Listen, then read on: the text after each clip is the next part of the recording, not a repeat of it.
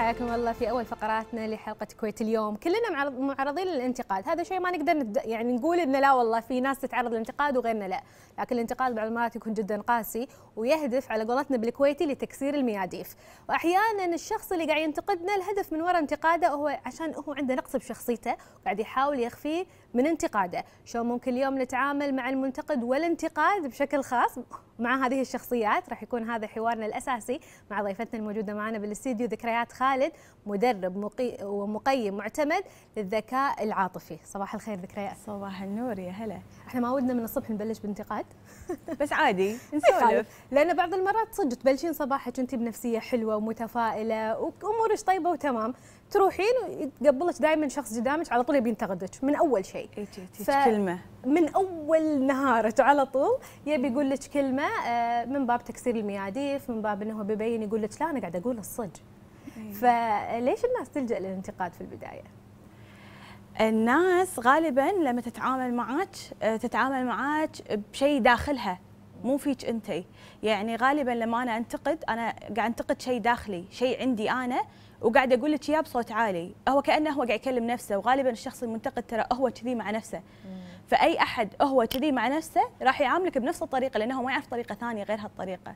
فعشان كذي اللي اللي يكلمونا بانتقاد أو أو أسلوبهم انتقادي غالبا هم أصلا كذي. هم ناس منتقدة حتى على نفسها. إنزين إحنا لازم يكون عندنا مهارات معينة نتعامل معها. هذا شيء ما نقدر إحنا ترى نتجاهله أو خلينا نقول نتجنبه. نصدف بعض المرات أن انت تكوني بمكان بعمل آه، واحد من أفراد الأسرة هو بطبعه منتقد يعني. فشلون أنا ممكن يكون عندي مهارات معينة عشان أعرف شلون أتعامل مع المنتقد؟ أه ودي أقول أول شيء شغلة عن الانتقاد. يلا. هو هو الانتقاد أه يعني وارد. إحنا كلنا ودنا إن إحنا ما نسوي شيء غلط وودنا نسوي كل شيء صح وودنا إن ما حد ينتقدنا. بس هل هالشيء أه يعني واقعي؟ مو واقعي صعب جدا. فالانتقاد موجود. ما نقدر ننكره وراح نصادفه.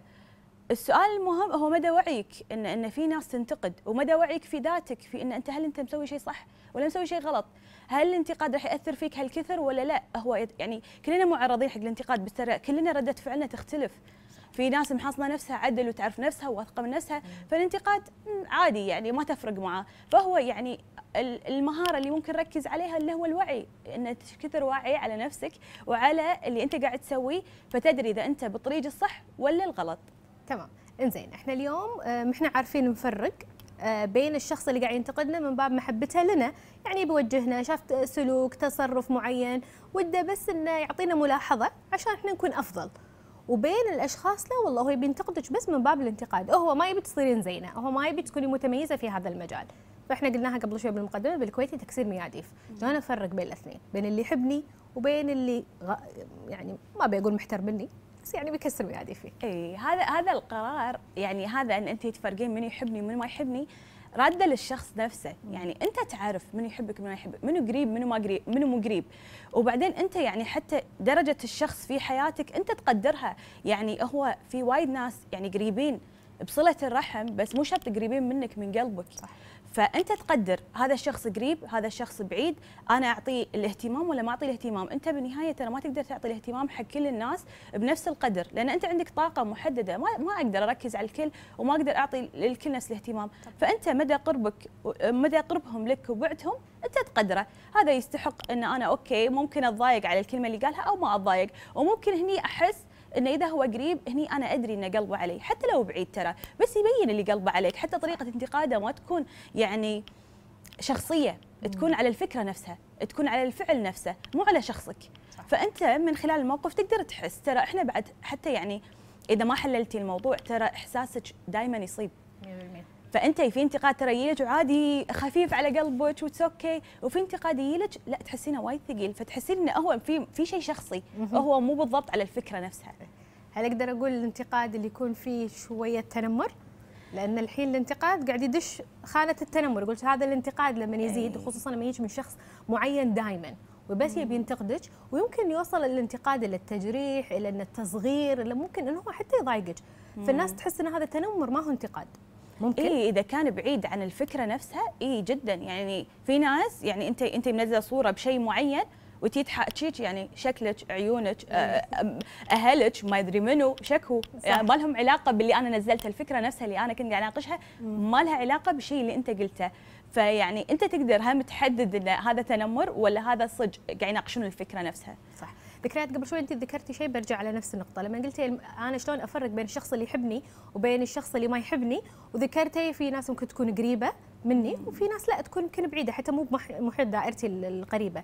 الحين إحنا بنتكلم عن الناس اللي قريبة أهلنا أصدقائنا الدائرة الأولى. ترى هذا الانتقاد منهم يجرح ويضايق وهو ترى اللي يترك أثر. فاليوم أنا عشان أقبل الانتقاد سواء كانوا من أهلي ولا من أقرب الناس لي آه وأكون أنا حريصة إني ما أخسرهم ولا هم يأثرون علي بالانتقاد. فشلون ممكن أتعامل مع ناس القريبة علي لما تبلش تنتقدني بشكل زايد؟ يمكن لو أنا أحط نفسي في هالموقف كنت راح أقيم ال ال راح أقيم شغلتين. فعلي اللي أنا انتق انتقدت عليه يعني وعلى ال الشخص نفسه. هو شنو؟ وشنو فعلي؟ فلما أتكلم عن الشخص نفسه أنا أدري مثلا هذا الشخص مثلا يجي من بيئة أو من عقلية معينة مثلا ترفض هذا الفعل. فهو انتقدني بناء على آه، يعني تربيته أو بيئته. فالانتقاد ما يمسني. هو يمس معتقد عنده أنا خالفته. فالانتقاد ما يخصني. فهني ممكن أنا أعزل نفسي يعني أفصل نفسي. يعني أنا ذهنيا عن الموقف. أقول إنه اي حرام هو انتقد لأنه هو ما يعرف هذا الشيء أو ما تعود على هذا الشيء. وينتهي الموضوع لهني. اي الجزء الثاني الفعل مالي. يعني أنا هم أراجع نفسي. إحنا مو دائما صح. إحنا نخطئ ونصيب ونتعلم وعادي. فاحنا نراجع نفسنا. اي إحنا اليوم ترى يعني قاعد نسولف بشكل جدا واقعي. صح. لا أنا اخطئ وأتعلم ورحلتي في هالحياة إن أنا اخطئ وأتعلم عادي. فأنا أراجع الفعل نفسه. هل okay يسوى ما يسوى اللي أنا سويته صح غلط يناسبني ما يناسبني. ترى حتى في شغلات ممكن تكون غلط. مو كل غلط غلط okay؟ يعني في كل غلط غلط. مو كل غلط غلط. لأن الصح والخطأ ما نتكلم عن حلال وحرام عشان الناس لا تهاجم قاعد أتكلم عن صح وخطأ. صح. في شغلات عندي صح وعندك خطأ والعكس. طبعاً. فصح والخطا مبني على الشخص نفسه. هذه هذه ما يوي أو معتقداته بيئته. إي أو ممكن مثلا مثلا أنا بظروفي هذه مثلا هذه كانت الطريقة الوحيدة إن أنا أسوي فيها هالشيء. ما كان عندي طريقة ثانية. أو جد يعني في في مثلا في فكري أنا أو في الثقافة اللي أنا وصلت لها هذه هذه أفضل ما أقدر أقدم. that's okay إن أنا قدمت هذا الموجود هذا أفضل ما عندي. فراجع طريقتك تسوى ما تسوى صح غلط. وهني يعني قيمها سواء من الشخص نفسه وشنو معتقداته ومن فكرتك أنت نفسها هل هي صح ولا غلط. إيش رأيك بالناس اللي تقول أنا ما أحب الناس أصلا يعني تنتقدني ما حد له شغل فيني وما يتقبل حتى الانتقاد؟ أنا قاعد أتكلم الانتقاد بعد ترى يكون إيجابي في انتقاد أي. إيجابي في انتقاد يكون على شكل نصيحة وممكن إن هذا ينبه الشخص إنه والله عدل سلوك أو عدل شنو الشيء اللي هم شافوا فيه. في ناس ترفض وتهاجم. ف... اي لأن إيه. شوفي الانتقاد ثقيل. أوكي. يعني إحنا نقول عادي ننتقد وعادي إحنا قاعد نقوم سلوك. لا لا الانتقاد ثقيل. ما حد يحب إن أحد ذكرنا قبل شوي إن ما حد يحب إن أحد يقول له أنت غلط. فلما تيجي تقول آه تنتقد الأفضل إن أنت تقول يعني إن في آداب معينة مو بس تقولها بطريقة لطيفة لا. هل الشخص طلب منك هالانتقاد؟ أو هل الشخص طلب منك رأيك؟ إذا ما طلب منك رأيك يعني ما له داعي تنتقده هو ما سالك ممكن؟ ممكن طبعا. بس هو هو في آداب عامة. أنت يعني يصير أنا أي من يو طريق وأقول لك ترى ترى الشغلة الفلانية غلط؟ إذا أنا ما سألت. أنا ما سألت. حلو حتى بين الأصدقاء حتى أي. بين القراب والمفروض أن إحنا نقدر هالشيء بين القراب أهم من البعاد. زين الق- القريب ليش أجرحه؟ هو ما طلب. لو يبي نصيحة راح يطلبها.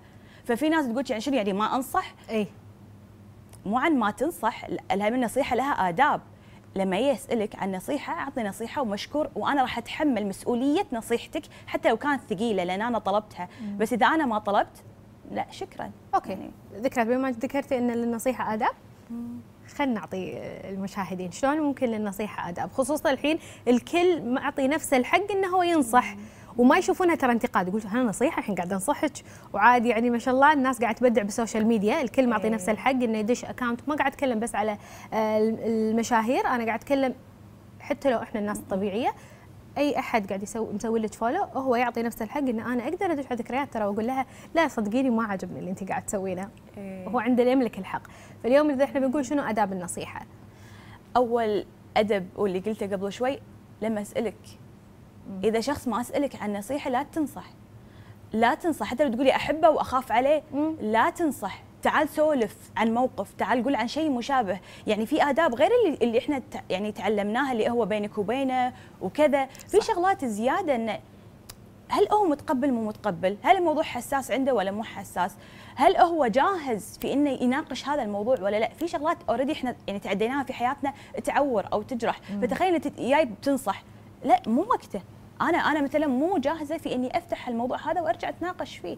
فأهم شيء واللي ودي نركز عليه لما أطلب.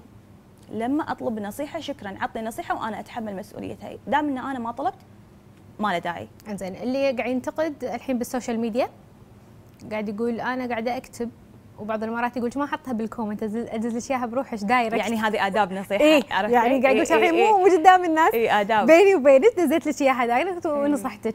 وبين الناس اللي تقول لا والله أرفع عليها السماعة والتليفون وأدق وأقول. وفي من يقول لا والله أقعد قدام ذكريات وأقول لها اللي النصيحة اللي بخاطري لها. إيش رأيك بين الناس اللي قاعد تاخذ النصيحة بأشكال مختلفة في أماكن مختلفة؟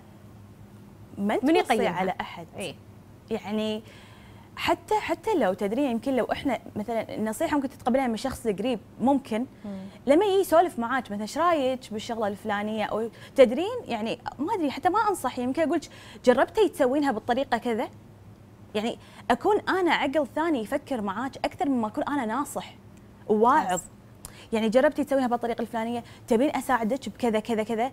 في يعني أكثر من أسلوب وأكثر من طريقة أحس ان صدق قلبك علي. أكثر مما أنا لا لا تسوي شيء سوي كذي. هذا صح هذا غلط.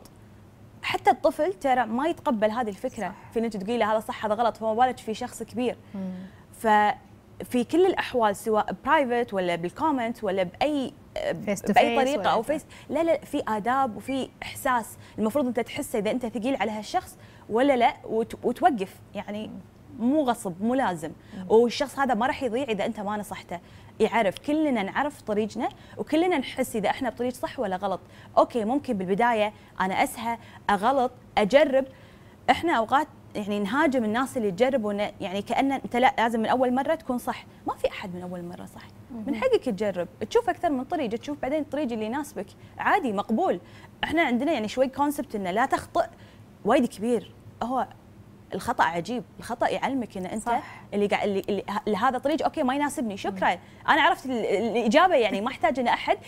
he guide me يعني ما له داعي. أنا أجرب بنفسي وأنا أختار طريقي. صح مثل ما قلتي أعتقد آه، الناس تتجنب الخطأ أكثر من ما هي ممكن تتعلم درس آه، كبير من وراء هذا الخطأ. وذكرتي قبل شوي كلمة وايد حلوة إنه انتقاء انتقالا لبعض الألفاظ ترى. ممكن أنت فعلا قاعد تنتقدني الحين لكن يختلف بين انك تشيل هالمفردة وتختلف النصيحة بشكل كامل يعني ويمكن الشخص حتى يتقبلها وما يهاجمك. إذا حابه توجهين نصيحه اليوم للشخص اللي عنده هذا الشعور إنه لا أنا والله لأني قلبي على الناس، لأني أحب فلانة ولأن هذه أختي ولأن هذا أخوي ولأن هذا صديقي، ما يقدر خلاص وهذا الطبعه يحب ينصح. بس الناس قاعد يقول أنت تنتقد، فاليوم ذكريات إذا حابة في نهاية هذا اللقاء توجهين رسالة حق هذا الشخص.